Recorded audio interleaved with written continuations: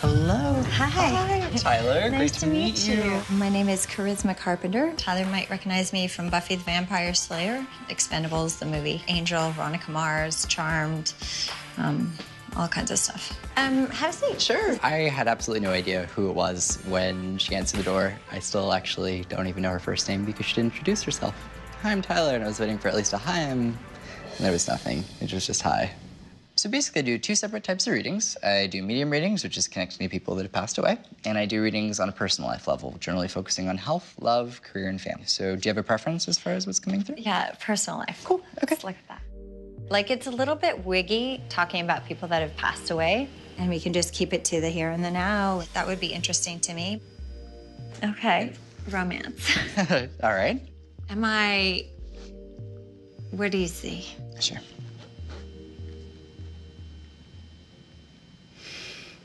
Yeah, I, I, I'm seeing tumbleweeds, which is always just, it's like tumbleweeds kind of flowing through a desert, which is my It's symbol barren. for, which is in So fact, sick of. I know. But interestingly, the next year, I see this changing. So even if you have an opportunity to be in a relationship, go on a date, get closer to someone from a social perspective, there is a potential romantic connection there. I'm not, I'm not seeing anything at the moment.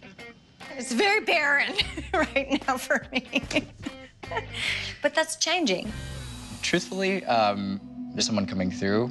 So do you mind if I talk about people who've passed? Okay. All right, coming sure. through. I'm not big on, you know, talking to dead people. I don't like full on believe how accurate it is. I mean, I think that it's possible. Um, huh, so I have two women that are popping in. I'm still not certain on this younger one. I'm still kind of going back and forth with it. She present, she's presenting the information in a bit of a weird way. There is a woman who feels like she passed before her time. My lungs are hurting with her quite heavily, where I feel like I can't breathe. I feel like I'm really struggling to breathe with that aspect. My lungs are on fire, like they're, it's a burning kind of a feeling. So does that make any sense to you? It could be my ex husband's mother, Sally Jane. Okay. The fire started downstairs, and I'm not sure what, for whatever reason, she wasn't able to get out of the house. She ended up perishing and from that, the smoke inhalation and whatnot. Right, I'm so sorry. That's my um, my son's grandma. Wow. I always wondered about my ex-husband's mom, Sally Jane, just because I have her grandson. Her passing is definitely too soon. So the woman that I'm connecting with who passed with the lung issue, uh, Sally Jane, um, is coming through and actually referencing to a close call with an incident that would have involved uh, living people, that would have been a vehicular-related incident that was a very close call. The only way I can really describe it is it feels as though either someone's too close to one side, but I definitely reference to this collision aspect. She's acknowledging that this very close call was reckless and that it was due to recklessness on another person's end.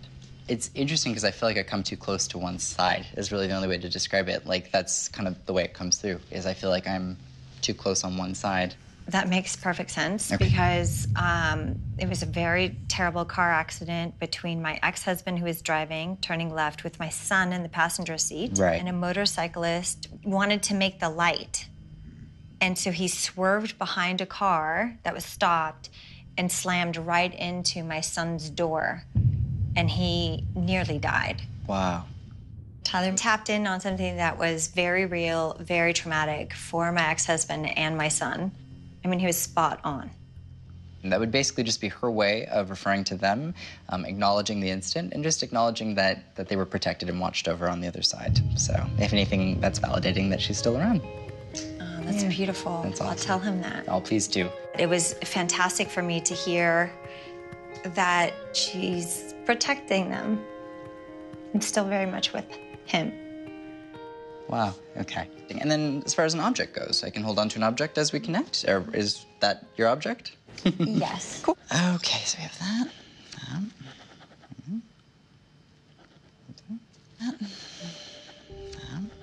Clients ask me to connect to the energy of pets all the time. That's a pretty common occurrence. Pets really are a part of our family, and they come through in the same exact way. There was a reference to a dog that would have dealt with issues and brought to the hind leg area. My dog, Sydney, uh, I had her for 15 years, and towards the end of her life, she would lose the mobility in her back legs, arthritis, and whatnot. This dog saved my life. She was my baby. She was very special to me. Um, she and I have been through a lot together. We lived in really cruddy conditions when I first moved to LA, but this is my girl. This animal still very much has a deep, deep connection to you, in which I feel like I actually see the animal, or it's very brief, but I do feel like I either feel it rub up, uh, rub up against my leg or I see it. She brushed up against you? Yeah, it's, it's interesting. I've actually felt a physical sensation, so it's good to keep in mind that you yourself might experience something similar. Just good to take note of. Second thing, though, is that other living animals, that animal has tried to come through to My other animals now. Yeah, keep keep in mind with like the, the odd experience is kind of the way I would put it. Will Um, I meet her again? You will, I, no doubt. But that one's very much connected still. Okay. When animals come through and show that kind of relationship, it is a very different dynamic. But our loved ones on the other side are still very much around us, and the same applies to our loved ones who are furry. Do you know if there's any Mae connections to your family? M A E. Um, Betty Mae is my grandma. okay, so in hers, but was it M A E, not M A Y? M A E. She was my favorite grandma. Interestingly, there's a reference to a piano key that won't go down. Now, this is crazy because she bequeathed her piano to me and it was like her prized possession. My grandma, Betty, Betty Mae, she meant so much. That validated that there was something there. Wow. She comes through in a very strong, supportive way for you. When my grandmother and I were close was a difficult time. You know, she was like the teenager whisperer, the one person in your life that kind of gets you and, and can see like how hard that might be. So, first two things. One, the amount of love that she has for you is immense. So, please know that. Number two, the immediate thing that she conveys is that you're not in this life alone. And she still very much has a very direct connection with you. And it is a bond that is absolutely unbreakable. And I know without a shadow of a doubt that you two will be together because she will be the first person you see when you transition someday.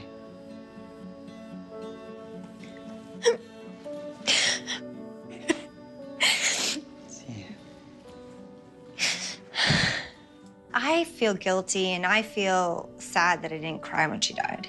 And I think it was just so heavy, I couldn't even go there emotionally. I couldn't even allow myself to because I don't know if I'd be able to get out of it. And it, I don't think I've ever like mourned her death. I started noticing that her skepticism was fading as more and more specific pieces of information started coming through. I feel like she got immense relief from that. She definitely was emotional, teared up, and to me, that's a sign of healing. For me in a reading, when I'm able to do that, that means I've done my job properly. Does she miss me? very, very much so. I'm definitely kind of swaying more towards the believer part. Hearing that she's with me all the time was very emotional. Awesome. Well, thank you so much. Do you have any other areas I might be able to? It's a lot. I know we, we kind of ran Now through. I feel Great. good Good. and content with Good. everything. There were so many little tidbits that made me a lot less skeptical. When's his next appointment? Thank you so much. So enlightening. Oh, I'm so glad. We'll Very do it again. interesting. I'm afraid now there's going to be an addictive situation. Like, hey, it's your friend. And he's going to be like, oh my God, that woman, why? Listen, we've got stuff to talk about. we got to cover some stuff. Yeah. Oh, well, thank you. Have a great rest of your day. You too. Thank you. Thanks. Bye, Tyler. Bye. Whoa. That was immense. A reading can be very overwhelming and is a lot to take in for a person. So to see her transformation from going skeptical to open and receiving the healing messages made all the difference.